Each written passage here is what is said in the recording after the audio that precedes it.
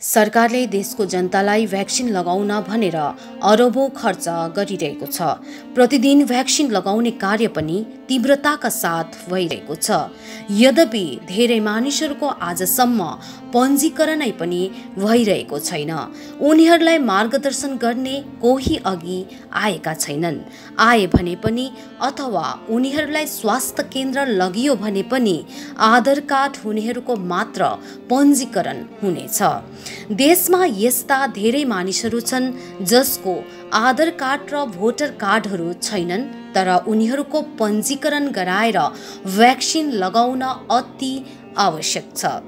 यसबारेमा कहाँ कहाँ यस्ता मानिसहरू छन् जसले न त भ्याक्सिनको लागि पञ्जीकरण गराएका छन् न त कसैले उनीहरूलाई मार्गदर्शन नै गराएका छन्?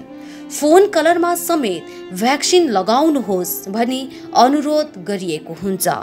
सरकारबाट विभिन्न विज्ञापनको माध्यमबाट पनि जनतालाई भ्याक्सिन लगाउने अनुरोध गरिएको हुन्छ तर मानिसहरूले भ्याक्सिन लगाउन पाइरहेका छैनन्। निजी स्वास्थ्य केन्द्रमा लगभग पाँच सय अस्सी रुपियाँदेखि आठ सय रुपियाँसम्ममा मानिसहरूले भ्याक्सिन लगाइरहेका छन्। तर रोजगारका निम्ति विभिन्न ठाउँबाट आएका लुटी ल्यायो भुटी खायो गर्ने श्रमिकहरूले यति महँगो मूल्यमा भ्याक्सिन लगाउन सक्दैनन्। यसै सन्दर्भमा दादाभाइ कोलोनी निवासी रिक्सा भ्यान चालक आवेद अलीले भ्याक्सिन लगाउन स्वास्थ्य केन्द्रमा दुई पटक जाँदा लगाउन नपाएको कुरा गर्दै अब कहाँ जानुपर्ने कसो गर्नुपर्ने केही थाहा नभएको गुनासो गर्छन् যোগাযোগ করছিল দিব দিব নাম দিব নাম না আসে নাই দুবার গেছি দুবার ঘুরে আসছে এই যে ভ্যাকসিন যে ক্যাম্পে এটা নয়া বস্তি ওই যে কি সেন্টার রয়েছে ওখানে হুম। তো ভ্যাকসিন কেন পাননি পাই নাই কাউকে কি বলবো আর বলবার তো জায়গায় নাই আর কাকে বলবো हमारा फादर में किसी को नहीं मिला हम लोग सेंटर में दिया था वो जी वैक्सीन हम लोग को लगेगा वैक्सीन के क्या लगेगा वैक्सीन चाहिए हमको यसरी नै सरोजनी पल्ली बासिन्दा अर्का रिक्सा भ्यान चालक सचिन रायले पनि प्रयास गर्दा पनि भ्याक्सिन लगाउन नसकेको बताउँछन् स्वास्थ्य केन्द्रको लाइनमा लाग्दा पछि हटाएको कुरा उनी गर्छन् आफ्नो परिवारका कसैले पनि भ्याक्सिन लगाउन नपाएको गुनासो उनी गर्छन्। हम हेल्थ चलाने वाला आदमी है। हम लोग का जो वैक्सीन देने का था सरकार से, वो वैक्सीन जो हम लोग का नहीं मिलता है। हाँ और जाता है घूम घूर के आता है। हाँ वहाँ पर जाके बोलता है पचास आदमी के पीछे रहो साठ आदमी के पीछे रहो। ऐसा भी हम लोग गरीब आदमी हैं। हम लोग उतना खड़ा रहेगा तो कैसे हम लोग को बाल बच्चा पालेगा। हाँ यही बात है। वैक्सीन हमारा कोई नहीं है। हमारा सात आदमी है सात लड़की है उसको भी नहीं मिला। एक ठो लड़का है उसको भी नहीं मिला। हमारा भी नहीं मिला। हम अभी तो वैक्सीन के लिए बोलता है। कि जितना जल्दी दे सकता है। हम लोग कभी हाँ तब सुविधा मिल जाएगा। नेता मंत्री से बात नहीं किया। है वो लोग तो बोलता है कि आपको चिंता करने नहीं पड़ेगा। काका आएगा आएगा वैक्सीन आएगा सब बोलेगा तो कब आएगा क्या जानी? जो हम भेंट होता है वही तो बोलता है।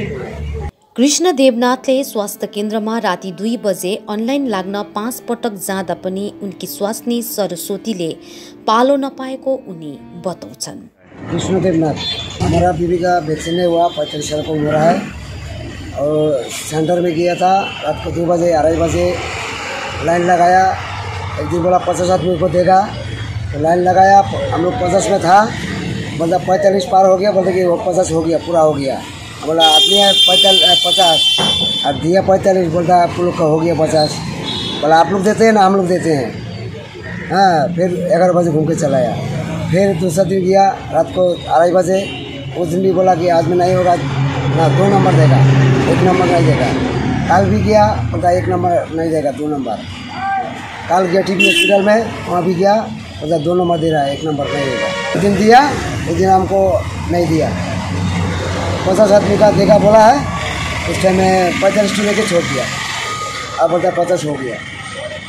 हम लोग लाइन में गिनती करके खड़ा हुआ था, पचास आदमी। तो हम था अड़तालीस में। अब पैंतालीस रुपये दे के बंद कर दिया। पचास पचास। अटो चालक सङ्गठनका कार्यकर्ता अमरजित पासवानले आफ्ना सदस्यहरू धेरैले भ्याक्सिन लगाउन नसकेको बताउँदै सरकारलाई भ्याक्सिन लगाइदिनका लागि अनुरोध गरेका छन्। मैं अमरजीत पासवान चेक और एसोसिएशन के तरफ़ से सरकार से अनुरोध करता हूँ कि हमारे जितने भी ऑटो भाइयों लोग हैं जिन्होंने वैक्सीन अभी तक नहीं लिए हैं, किसी को समय न मिलने के कारण या फिर किसी भी प्रॉब्लम की वजह से, जैसे कि हमारे हॉस्पिटल यहाँ चेक पोस्ट से काफ़ी दूरी पर है और मेडिकल भी दूरी पे है। जिसके वजह से जाने आने में प्रॉब्लम हो या फिर किसी भी प्रकार के असुविधा के कारण वैक्सीन अभी तक नहीं लगाए हैं। तो मैं सरकार से अनुरोध करूंगा कि हमारे ऑटो एसोसिएशन के तरफ से हाँ ऑटो वालों को जगह पे वैक्सीन देने के लिए आ, प्रबंध किया जाए। अर्कोतिर दार्जिलिङबाट रोजगारको निम्ति सालुगडामा सपरिवार बसेर ठेलागाडीमा मोमो बेच्दै आएकी अनिला गुरुङले पनि भ्याक्सिन लगाउन नसकेको गुनासो गर्छिन्। नमस्ते म अनिला गुरुङ। म मिडियाको अगाडि आउनुको कारण चाहिँ भ्याक्सिनलाई लिएर हो। किनभने हामी सानो दोकान चलाएर बस्छौँ र ठेलामा हामी दोकानदारी गरेर बस्नेमा हामी यहाँ हामी चाहिँ खास चाहिँ यहाँको होइन दार्जिलिङको हो। त्यही कारण हामी सानो दोकान चलाएर नानी पढाएर बस्छौँ र हामीले भ्याक्सिन कहाँ गएर लाउनु पर्ने भ्याक्सिन अहिलेसम्म पाएको छैनौँ। भ्याक्सिन कहाँ गएर लाउनु पर्ने उम्, के गर्नुपर्ने हामीलाई केही थाहा छैन। अनि भ्याक्सिनको नाम लेखाउनु आउँछ भनेर भन्छ। त्यहाँदेखि हामी नाम लेखाउनु जाँदाखेरि तपाईँहरू तपाईँहरूकै जग्गामा गएर लाउनुपर्छ भन्नुहुन्छ। अनि हामी घर जाँदाखेरि चाहिँ हामीलाई बाटोमा फेरि सोध्छ अरे भ्याक्सिन लगाएको छ कि छैन? भनेर सोध्छ। अरे हामी खास चाहिँ कहाँ जानुपर्ने हो र? हामी जस्तो मान्छे कालिम्पोङ नेपाल डुवर्सबाट बस्ने मान्छे यता कोही अब कामहरू गर्ने कोही अब बिजनेस गरेर बस्ने मान्छेहरू धेरै नै छ। उनीहरूले आएर कोही बेला मोमो दोकानमा आएर सोध्छ दिदी तपाईँले भ्याक्सिन लाउनु भयो भनेर सोध्छ? मलाई त थाहा छैन भ्याक्सिन कहाँ लाउनु पर्ने मलाई नै थाहा छैन मैले उनीहरूलाई कहाँ बताउनु। हामीले त खुदै पाएको छैन भ्याक्सिन भनिदिन्छु अन्त त्यहाँदेखि त्यही कारण चाहिँ हामी कहाँ गएर लाउनु पर्ने के गर्नुपर्ने कि हामीमा आफ्नै जग्गामा गएर लाउनु पर्ने त भ्याक्सिन भनेर चाहिँ हामीले सोचेको छौँ तर आफ्नै जग्गामा जानु पनि बाटोमा जाँदाखेरि सोध्छ अरे भ्याक्सिन लगायो कि लगाएन? भनेर। अब हामी भ्याक्सिनको लागि जानु त गाडी भाडा चाहियो हामीलाई। हो गाडी भाडा चाहियो। हामी एकजना मात्रै छैन परिवारै जानु पर्यो। त्यो परिवार परिवारै जाँदा हामीलाई त्यस्तो गाडी भाडा अहिले गर्ने पैसा पनि छैन हाम्रोमा। किनभने हामी चाहिँ सानो ठेला दोकान चलाएर जीविका चलाउँछौँ। त्यही कारण हामी कहाँ जानुपर्ने कसो गर्नुपर्ने यो चाहिँ तपाईँहरूले यसो तपाईँहरूले हेल्प गरिदिनुहोस्। कहाँ गएर चाहिँ हामी भ्याक्सिन लगाउनु पर्ने कि भ्याक्सिन हामी नपाउने हो कि भन्ने पाउँछ कि पाउँदैन हामी कि आफ्नै जग्गामा गएर लाउनु पर्ने यसको लागि चाहिँ तपाईँहरूलाई म अनुरोध गर्दैछु। अब प्राइभेट हस्पिटलमा गयो भने चाहिँ बाह्र सौ हजार रुपियाँ भन्छ भ्याक्सिन। हामी त एउटा एकजना मान्छे मैले मात्रै लगाएर भएन बाह्र सौमा हाम्रो त परिवार छ परिवार सबैले लाउनु पर्यो। हामी त यत्रो पैसा गर्नु सक्दैनौँ। हामी त अब हामी सानो दोकान चलाएर गर्- गर्ने मान्छेले हामीलाई घर चलाउनै एकदम मुस्किल भइरहेकोले गर्दा हामी प्राइभेट हस्पिटलमा चाहिँ लगाएर गएर लाउनु सक्दैनौँ। त्यही कारण अब हामी चाहिँ कहाँ गएर लाउनु पर्ने हो? भ्याक्सिन कसो गर्नुपर्ने हो? कहाँ गएर लाउनु पर्ने कसलाई भेटेर भन्नुपर्ने हो?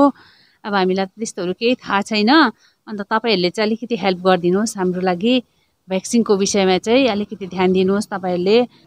हाम्रो नजर अघि यस्तो अवस्था छ तर पछाडिपट्टि कस्तो छ त्यसको अध्ययन हुन बाँकी नै छ। किनकि सिलगढी सम्पूर्ण उत्तर पूर्वी क्षेत्र अनि सिक्किम भुटान डुवर्स र नेपालको प्रमुख व्यावसायिक केन्द्र हो। यहाँ विभिन्न ठाउँबाट रोजगारका लागि मानिसहरू आएका छन्। उनीहरूको के अवस्था छ? त्यो हेर्न बाँकी नै छ।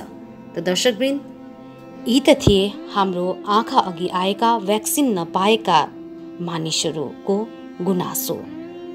तर अझ कति यस्ता होलान् जसले भ्याक्सिन सम्बन्धित कुनै उनीहरूलाई जानकारी समेत छैन। त्यसैले आउँ हामी सबै मिलेर उनीहरूलाई भ्याक्सिन लगाउनमा केही जानकारी गराउनमा सहयोग गरौँ।